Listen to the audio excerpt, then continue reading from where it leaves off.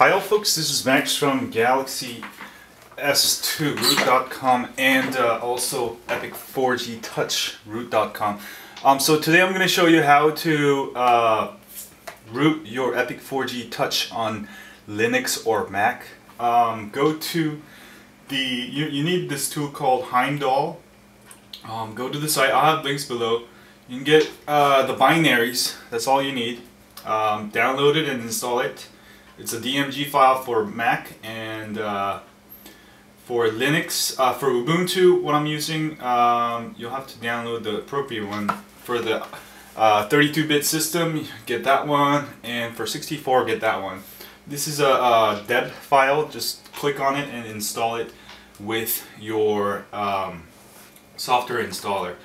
And then open up a shell, alright, and um, type uh, Heimdall, right?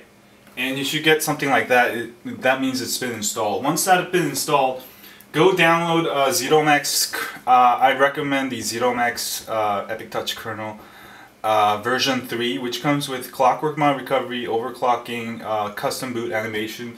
Or you can download any of those, but make sure you flash a kernel with Clockwork Mod Recovery.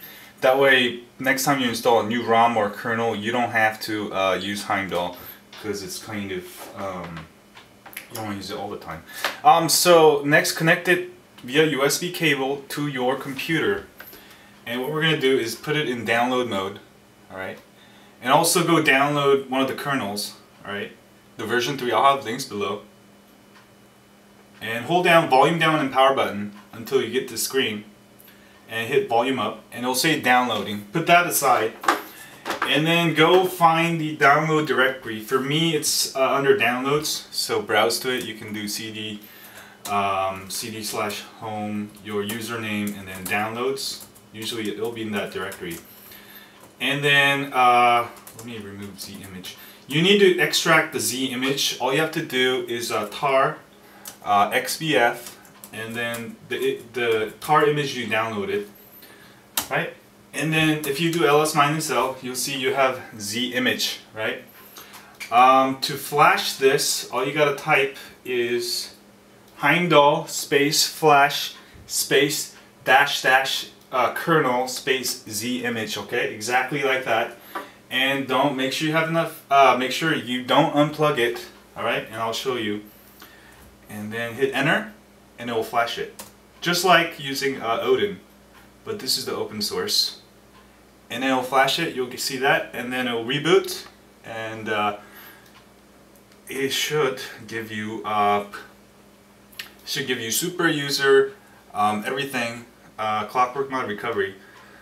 And uh, next time you uh, want to install ROM, you can use zip files. Um, there you go. So I got my custom boot animation there. It's kind of cool. And it's going to boot up. And you can double check the version number.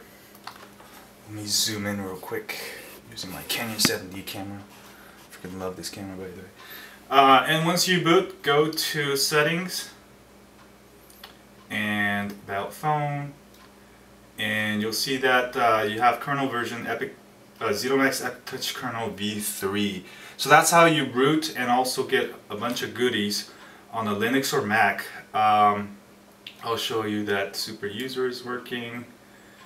Uh, where's super user? Yeah, super user 3.0. Um, now you have root. And also, uh, you can hold down volume up and power button to get into Clockwork Mod Recovery. How cool is that, right? And next time you flash a kernel, use the zip version, um, not the tar version. You don't have to use uh, Heimdall ever again. But if you have trouble with it, you can always use Heimdall to flash kernels. Um, and there you go. So I'm going to reboot this now. Um, so now you can use, I thought there wasn't a flashing tool, but you can use Heimdall to flash and root your Galaxy S2 Epic 4G Touch. And this also works on any other Samsung Galaxy devices. Um, so thanks y'all and subscribe to uh, Epic 4G Touch. See y'all later. Y'all rock.